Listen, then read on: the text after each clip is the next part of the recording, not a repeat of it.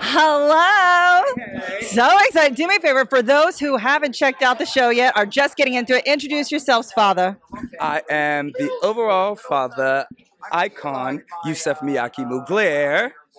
And baby daddy. I am AJ, the prospect who turned Mugler. Yeah. it's like my ba- my father, my baby. I love it. Trouble starter. What else? Yeah. Home wreck. I was just kidding. Uh, give me Pastor. Yep. Well, Hermiton, allegedly. Messy. yeah, it's a lot.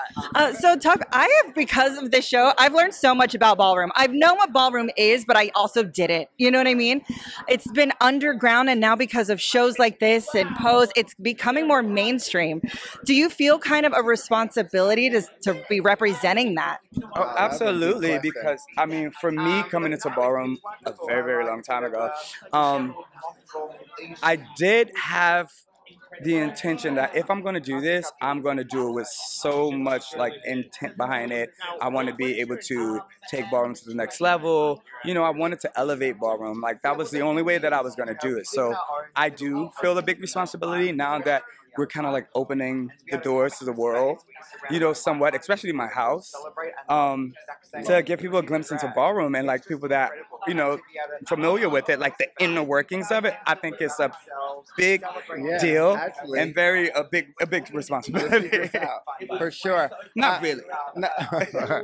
For me, um, it's all about the journey that I took, um, and that people are, can get to see that and share that. Um, for me, that is like a heavy burden um, because like that's everyone's first intro of like seeing how to get into a house, what it takes, the application process, the rehearsals, the prospecting, the drama, the getting the votes.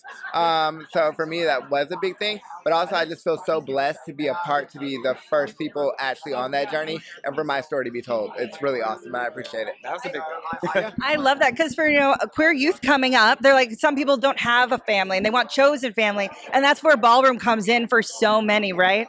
Um, so for those that are trying to get in ballroom, what do you see is like a mistake they made or some advice that you give them? You, this last question. Uh, that first, know your categories, uh, do your history, um, and come in with uh, good intentions. I think as long as you have good intentions and it's at the heart, at the very end, it all works out in the end for you. As you see, it did work out for me, um, and that's what I would say for sure. What about you? Oh, um, What advice? you know what? I think people get a little bit overzealous, and then uh, you know, there's some houses that will just say, "Hey, you're cute. I love your shoes. You want to be in my house?"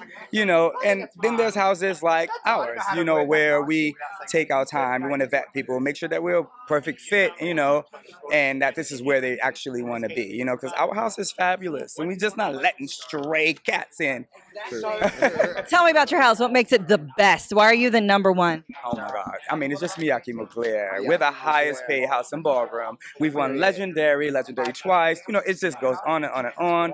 And now we have House on Fire. That is major. That's major. I, I mean, that, come on.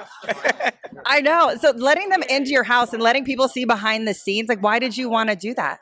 I don't know if I wanted to do that, but I did it. You know what I mean? I think it's really important. Like the inner the inner workings of having a house is not just surface. It's not just like, oh, we're going to a ball and everybody's chanting for your house and oh, I'm a vocal. I'm just like, no. There's a lot that goes behind that, you know.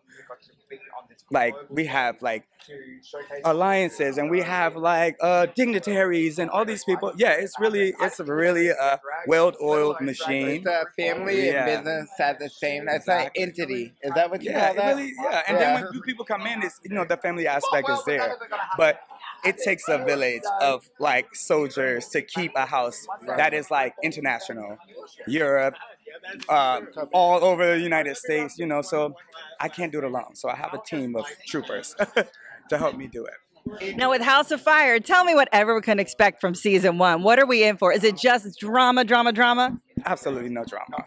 I mean, AJ caused a lot of hell, but he It turned on around in the end. The house was on he fire. turned it around in the end, Yeah. but this house definitely is on fire. There's drama, there's love, there's family, there's talent.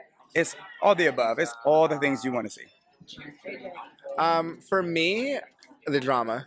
Um, no, that is it not great. Is your drama Um, I think that's what the people really tune in for. I think that they love the chosen family, but they like to see the inner workings of family and family dynamics, which is i.e. drama, right?